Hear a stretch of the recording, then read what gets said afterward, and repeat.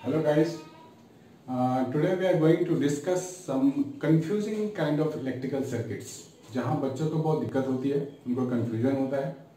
तो इस तरह की चीज़ों को दूर करने के लिए हम लोग कुछ प्रैक्टिस करने वाले हैं बाय सम शॉर्ट मेथड और by analysing the circuit can look it और आपको ये पूरा देखना ताकि आपको अच्छे से समझ में आ जाए। और जब आप प्रैक्टिस करो तो एक भी क्वेश्चन छूटे नहीं। So just watch it guys till the end we have question here circuit is given and we are asked to find the equivalent resistance are, are all have got the same uh, value each resistance is r ohm only तो बच्चों आप पहले यहाँ देखो ये x terminal है y terminal है और इस x y के साथ जो सबसे पहला रेजिस्टेंस है वो a वाला r है this is just connected with the battery है ना ऐसे कनेक्टेड है so this is called external circuit और ये इंटरनल है, क्योंकि इसका दोनों पॉइंट बैटरी के साथ जुड़ा हुआ है ना, पूरा ऐसे। जब हम इंटरनली की बात करेंगे तो इसको जो बैटरी के बिल्कुल इमीडिएटली कनेक्टेड हो, इसको छुपा दो, छोड़ दो इसे। बाकी में कनेक्शन आप देख लो। तो यहाँ पे फाइव रेजिस्टेंस है, और बीच में एक आर है, बाकी सराउंडिंग में दो आर है। तो यहाँ पे हमको देखना पड़ेगा, ये वी टेस्टोन ब्रिज फॉलो करता है या नहीं। तो मैं रेशियो चेक कर रहा हूँ आउटर टू ऐसे करते हैं ना outer to outer to R by R one R by R one बीच वाले में क्या है? कि बीच वाले में कोई करंट इसका मतलब नहीं जाएगा when this two ratio are satisfied तो इस बीच वाले को आप हटा दो। तो अगर मैं इसे हटा दूँ तो मुझे क्या मिलेगा? This two R in series this two R in series that means ये पूरा हो जाएगा टू आर ये भी हो जाएगा टू आर तो ड्रॉ कर लेते हैं।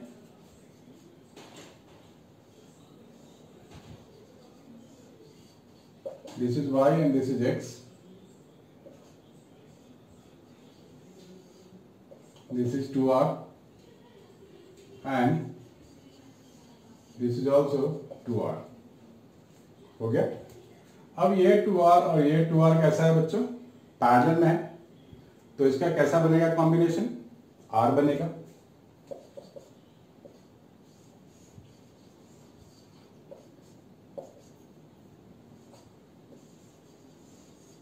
ये हो गया। Now these two R R in parallel so ये कैसा बनेगा? आर बाई टू तो आर टोटल में लिख रहा हूँ आर बाई टू हो गया? दिस इज़ द सर्किट लेकिन आप प्रैक्टिस करना कि हर एक स्टेप में डायग्राम ड्रॉ करके करने की, ताकि आपका गलती का बिल्कुल भी चांस ना हो। आप इसको नोट डाउन करो। And in case of doubt send me doubts in the comment box and you can demand more kind of videos right so just note it down guys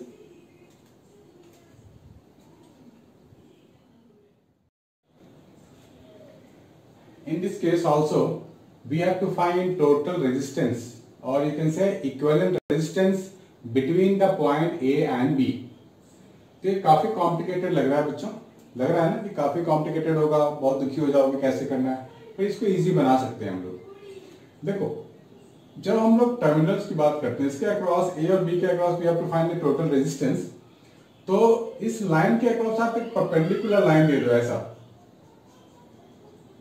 right इस perpendicular line पे जो resistance आ गया, उसे आप लोग हटा दो।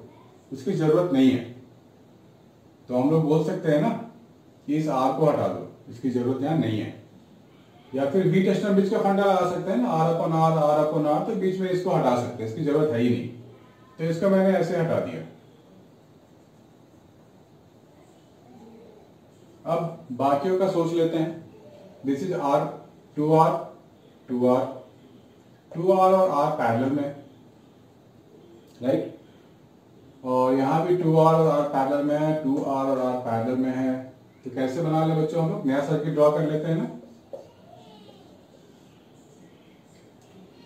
इधर टू आर लिख रहा हूँ, क्योंकि दोनों सीरीज़ में है और ये पैरेलल में आर है। तो ये मेरे को क्या मिलेगा? टू आर बाई थ्री तो मैं यहाँ दिखा रहा हूँ। टू आर बाई थ्री और यहाँ भी मैं दिखा रहा हूँ। टू आर बाई थ्री ऐसा। इधर भी लग जाएगा हमारा।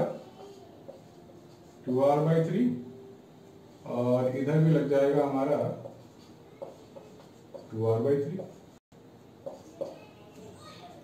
अब कैसा लग रहा है? तो इजी लग रहा है ना? सीधा ये पैरेलल में हो गए दोनों सर्किट ये दोनों सीरीज़ ये दोनों सीरीज़ फिर दोनों पैरेलल तो हमें मिल जाएगा ये four R by three four R by three तो फोर आर बाई थ्री और फोर आर बाई थ्री जब पैरेलल में हो तो इसको भी कैलकुलेट कर लेते हैं। ये हो जाएगा three by four R plus three by four R is equal to one by R total तो six by four R is equal to one by R total so R total is four R by six और you can say two R by three हो गया? कुछ भी नहीं है इसमें। Practice हो जाएगी। तो हम लोग बीस सेकंड में आराम से कर सकते हैं। Don't need to be panic note it down guys फिर आगे करते हैं हम लोग।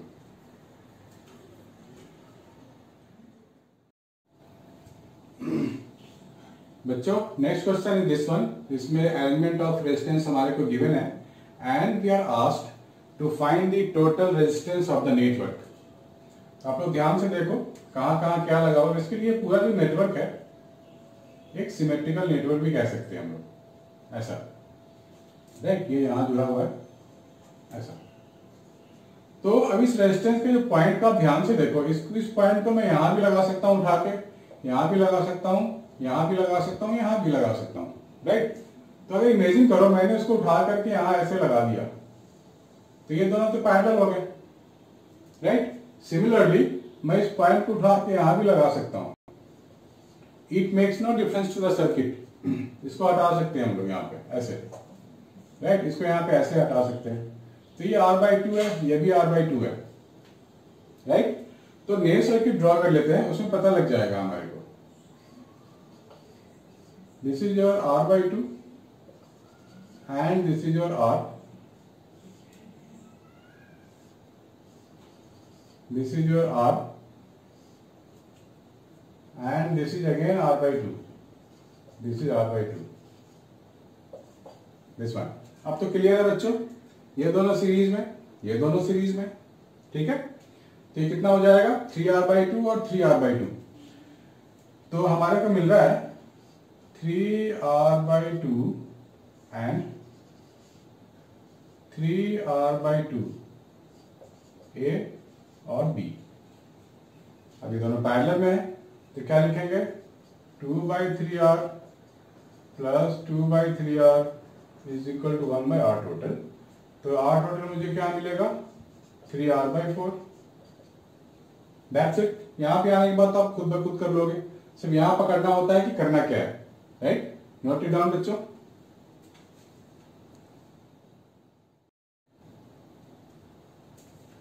बच्चों this is another complicated circuit but symmetric circuit है ये।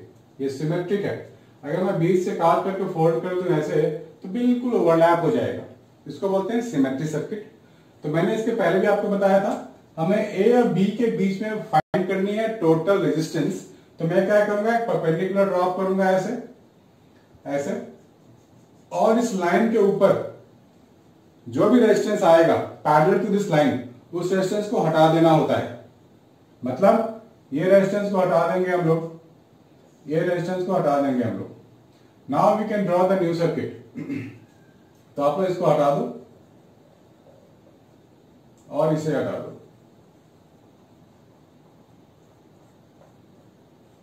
ये मिल गया। Now this is 2r this is 2r this is 2r and this is 2r तो 2r और 2r मिलकर मुझे क्या देगा? 2 और 2 जब पैरेलल में हो तो 1 मिलता है हमेशा. तो इस पूरे के बदले हम लोग यहाँ पे 1 ओम लगा सकते हैं. सो so, मैं न्यू सर्किट ड्रॉ कर रहा हूँ.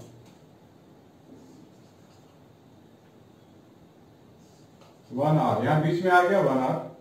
ये आर और ये आर तो पहले से ही था. This is A, this is B.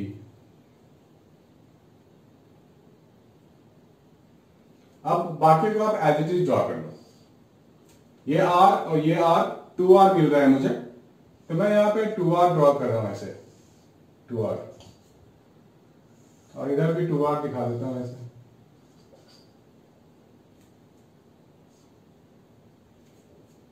Right अब ये तीनों हो गए पैरेलल में।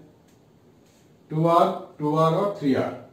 So what I can write one by two R plus one by three R plus one by two R one by R total ये मिल गया हमारे now we can solve it further one by two R plus one by two R one by R plus one by three R one by R total यहाँ three लगा दूँ और यहाँ भी थ्री लगा देता हूँ।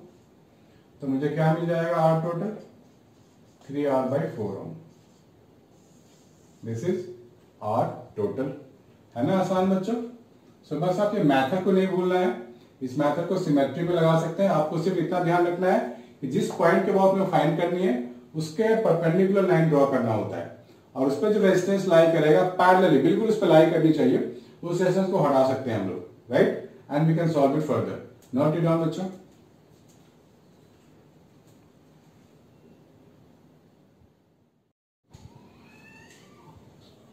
This is the circuit given and we are asked to find the total resistance of this network.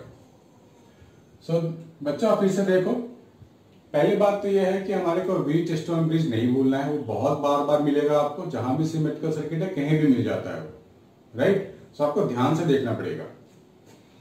तो इधर टू है। इधर भी टू ये भी टू ये भी टू और ये भी टू तो आप ध्यान से देखो two upon two two upon two ratio तो सेटिस्फाइड है। वी टेस्ट और बीच का जो बैलेंस कंडीशन चाहिए वो तो है हमारे पास। इसका मतलब इस वायर के यहाँ कोई भी ज़रूरत नहीं है। तो मैं इस वायर को हटा देता हूँ। इसका कोई यूज़ नहीं है। ये दोनों सीरीज़ में फोर हो गया, ये भी फोर हो गया। तो मैं एक नया सर्किट ड्रॉ करने वाला हूँ।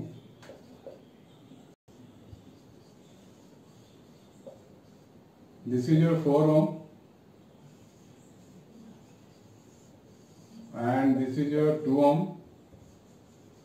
and this is your 4 ohm again this one now this 4 and this 4 are in parallel तो ये कितना हो जाएगा बच्चा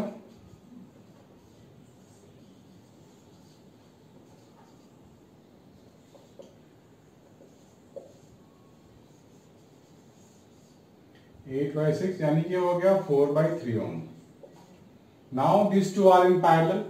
So I can calculate 1 by 4 plus three by four is equal to one by R total so R total is coming out to be one ohm so total एस्टेंट मेरे को मिल गया one on बिल्कुल एग्जैक्टली आप इसको note down करो बच्चों and try to learn from it